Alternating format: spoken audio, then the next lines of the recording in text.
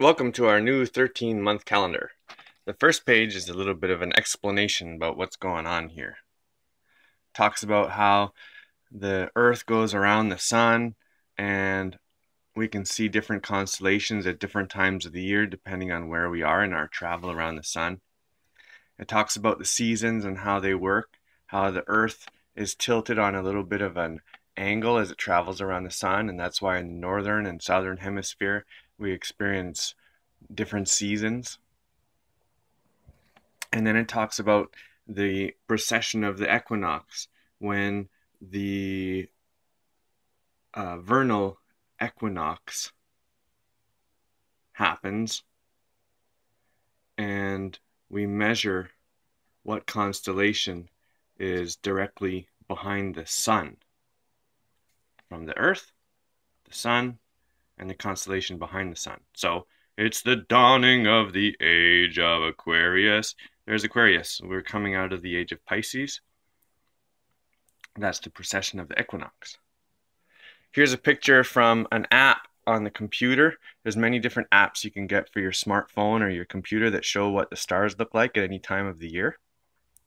This picture is shown on the first day of this calendar, or even day zero is what I'm going to call it on day zero, the sun here is in Sagittarius. The moon over here is between Leo and Virgo. There's a woman called Ruth Stout. She did some research figuring out uh, things about how to grow plants uh, based on the moon and where it is uh, in relationship to these constellations, which we'll talk about later. This calendar starts on December 21st, that's the Gregorian calendar date. Well, on this calendar, that's day zero. And I started doing this calendar in 2012 when people were talking about it's the end of the world. I think what they were actually talking about was that it's the end of the age of Pisces. And they were also talking about is the end of the great year. So apparently, a great year is when we go through all of these ages, and each age takes over 2,000 years. 2,000 years, 2,000 years till we get all the way around. I made a spreadsheet to explain it a little bit better.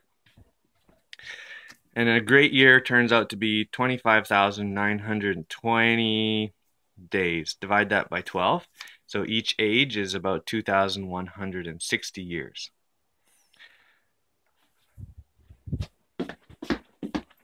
So, this is a 13 month calendar. That means there's 13 months.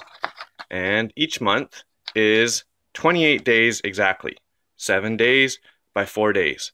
I've put the moons on this calendar. The new moon, the first quarter moon, the second quarter moon or the full moon, and the third quarter moon, which isn't on this month.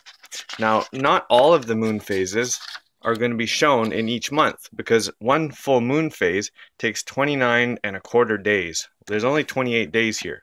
So, for example, watch the new watch the full moon as it travels like a cartoon does or a flip book from one side of the calendar to the other. Next time I turn the page, it's going to be here or here. That's 29 and a quarter days later. Again, next time it's going to be there or there. And now it's at the end of the page. Next time I flip it, it's not going to show up on the next month.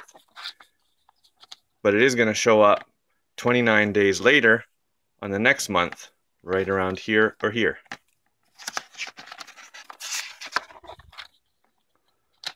And there you have the new moon. So I've got at the top of the calendar Thursday, Friday, Saturday, blah, blah, blah, blah.